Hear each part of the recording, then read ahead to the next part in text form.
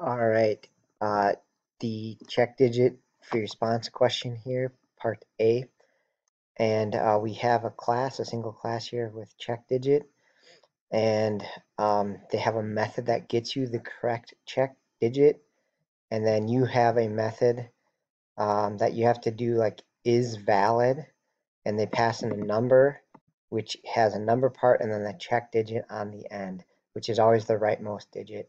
Okay, so I had to read through this a couple times to even make sense of what they're saying here.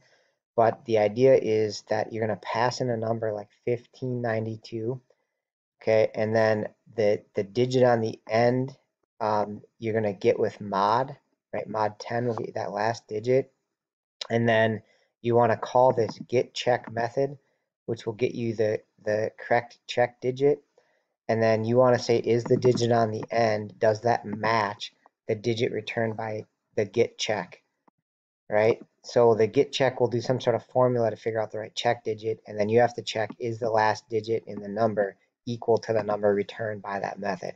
So that was a little confusing to me because I thought you you know you just do mod two, but that'll get the last digit, but it's not guaranteed to be the right check digit. You have to compare that against um, the get check um, with his with his just the first part of the number. So it looks like when you call get check, you don't call it with the whole number. You call it with just um, everything except the last digit.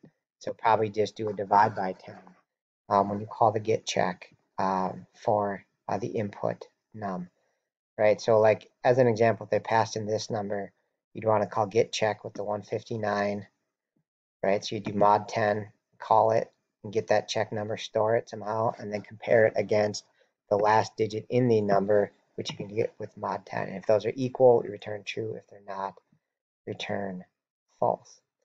All right, so again, to demo how to do this on the actual AP test, um, you could just open up a, a WordPad document and type it right in there. Um, if you want to use Eclipse, um, again, you could just type the, the method heading, right? Um, or what I tried to do is I tried to get this whole class so I highlighted this part and copied it. And then made a new file in Eclipse here. So I think this one is called check digit. The downside of this is this takes a little bit of time. So this one is called check digit.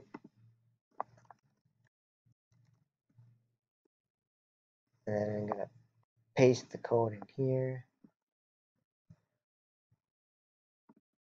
Okay, and then there's a little part of the code that actually ran onto the next page. But uh, I don't know if I'm to grab that part too, I guess.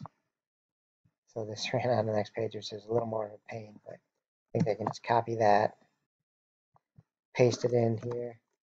Okay, and then to get the to all look nice, I'm going to do Control A and source correct indentation, and it looks kind of normal somewhat. Okay, so they're not going to show us how get check works, but we're going to definitely have to use it in part A here. Okay, so the first thing is um, I need two things. I need the, the rightmost digit, um, which is using mod 10. So I'm going to do int last digit or whatever. And then I'm going to do the number coming in so the number with the check digit. So again, that has both parts, right? So if it was the example they gave there, 1592, the, we just want to get the 2. Okay, so I'm going to do mod 10, and that'll get me that last digit 2. And then I want to get the correct check digit.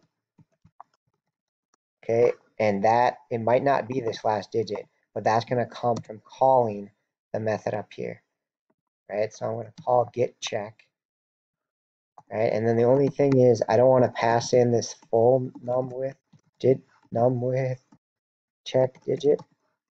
I'm not going to do that because if you look at the example, we want to call it with everything except the last digit, right? So in order to do that, uh, I have to do divide by 10. So call that, so that's the correct digit. And now I just want to return if the correct uh, maybe I should do this way. If the last digit is equal to the correct check digit. Then I want to return true. Else, if it's not, I want to return false.